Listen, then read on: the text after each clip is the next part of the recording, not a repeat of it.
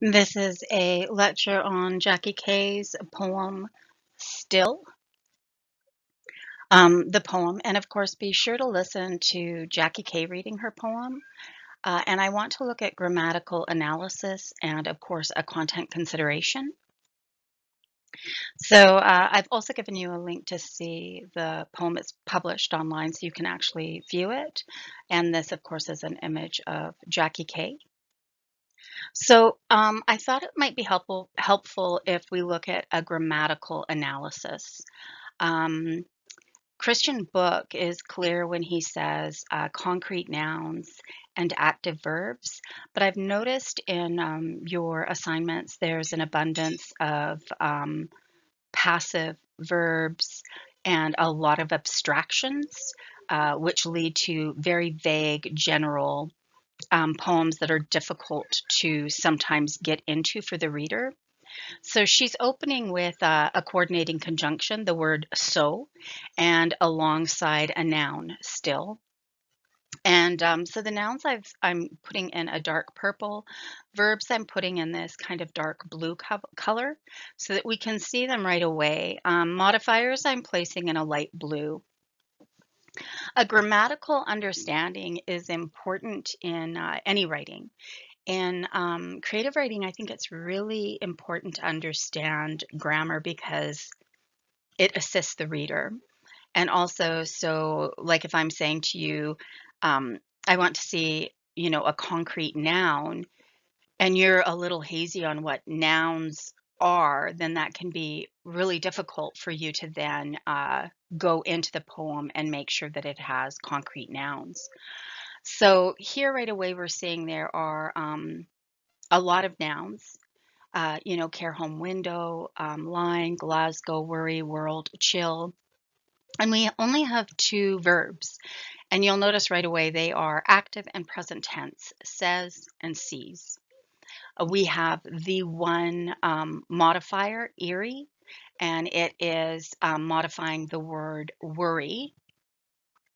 And so what this means is that uh, the word eerie is an, an adjective. I'm looking right here. So um, she has only one modifier, and a modifier is just a kind of a fancy gr grammatical word for description. Eerie is describing worry. And our, her second stanza, you can see the ongoing reliance on those concrete nouns squares, streets, bars, theaters, hospitals, ventilators, kids, lockdown, exams. One verb. And again, her verb is active and it is in um, present tense. So, and we're seeing um, a lot of modifiers. So we're seeing a lot of adjectives and uh, no adverbs. Um, so if you if you favor uh, descriptive words and you want to describe something, it's often better to describe your noun. So when we see this right here, she has no need to describe the word meat, but she is describing squares, streets, theaters, bars, hospitals, ventilators, kids, lockdown, or not lockdown, and not exams. But so we're seeing like the kids are school kids, hospitals are packed, um, half shut bars, deserted squares, empty streets. Um, she has very few um, kind of abstractions. So when she describes sad theaters, um, sad is definitely an abstraction because it is a, an emotion. Gold dust ventilators um, is, I think, a really um, kind of beautiful way of describing ventilators. And um, here we look at, um, she follows that heavy noun stanza with um, a, a, lot more verbs. And these verbs are um, participles and auxiliary and um, past tense. And so, other than I think take, her verbs are um, a little uh, a little different in this one. Take is our only clearly active um, verb. The others are uh, doing different kind of work. And you'll see there are not a lot of nouns, but again, we're, we're seeing nouns that are very concrete. Uh, world, day, mercies, crows, wall. Mercies is probably the only one for our noun that that we could think of as um, as abstract. And then, of course, she has um, far less, far fewer um, modifiers here, but she does have them. So here in the final stanza, um, it is loaded with verbs and it has shifted to the past tense. She has very few nouns and very few modifiers. So um, there's like this buildup of uh, nouns, nouns, nouns, and then a buildup of verbs and a lessening of nouns, which um, has really, I think, an interesting impact on this poem, just the um, grammatical structure of it. So always remember that advice by Christian Book, and there's a reason why we start with his 10 rules. Um, he is really adamant about concrete nouns, active verbs, an avoidance of modifiers unless absolutely necessary. And um, you know, he he likes symbols. He likes the use of comparisons. He does not like the use of the word like. He prefers a juxtaposition.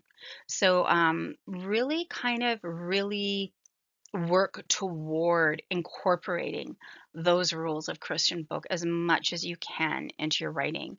Uh, it will just really help you. You really need this te these technical skills for writing. So Jackie Kay is using modifiers and she's used them to add concrete, very tactile sensations and for rhythm. And um, please remember that poetry is about creating a response in a reader.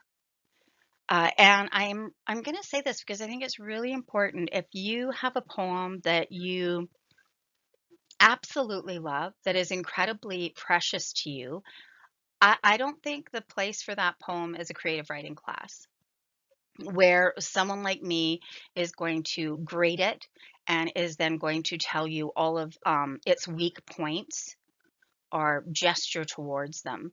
So um, you want to hand in poetry that you want to make better, that you want to work on. Um, if you have a poem that you think is perfect, you probably don't want to hand it into a workshop or a professor because um, it's it's going to hurt you.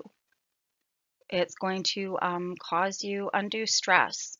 So uh, remember, like a poetry class is about teaching and it's about making you a writer or a better writer. Also, I really want to point out, like, consider how simple description, simply stated, can often evoke far more emotion than complicated, ornate, and elaborate descriptions. Those can often kind of pull your reader away from the sensations or the emotion or the response that you are hoping they may have. So, um, just um, in general about the poem, just notice that the speaker and her mother are in lockdown to, due to COVID 19, the pandemic.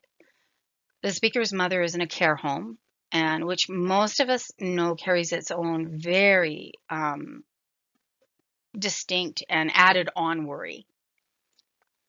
In the second stanza, she reveals the emptiness of the squares and streets, the bars, the theaters, the schoolyards, the school kids who aren't having exams. And then she um, uses this kind of, uh, she slips in packed hospitals. So, this packed hospitals is a real juxtaposition to the rest of this kind of emptiness.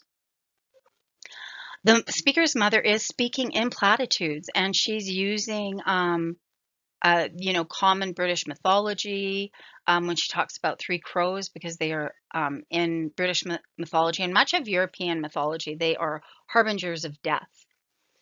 Um, and but you know, she speaks in like cliches and um, but what she's saying still has weight. We get a real clear clear concept of this is how this woman speaks. In the last stanza, um, she continues with that the cliche silver linings. Um, and, but what's interesting is this is her way, I think, of comforting uh, the speaker or the child. And the child is, um, you know, that shouting to be heard, that that shouting out, "I love you, I love you," and uh, the mother's response, and that beautiful ending, "Precious," she said. Then the line went dead. That gorgeous um, internal and, and end rhyme, that that said and dead, that's just stunning. So uh, notice that Jackie Kay doesn't use any kind of flowery phrases. We don't even know what her mother looks like. But what we do know and what has inspired in the reader is that shared experience of the pandemic and how it is something all of us are part of. And uh, also that imposed distance we all felt, but um, she's giving us a really specific example of that imposed different distance for the mother and the child as they're both in lockdown and unable to physically visit one another. And that tangible discomfort of not being able to see, touch, and hold one another, you know, with the fear. You know, the mother is in an unsafe position due to her age, health, and her physical location in a care home. So uh, this is a photograph of Jackie Kay and her mother um, after the lockdown, and uh, you can tell they're both um, pretty gleeful and relieved. So uh, that is the lecture on Jackie Kay's Still. I hope it really helps in your own writing, and I hope as well you really appreciate the stunning simplicity of this poem. Thanks very much.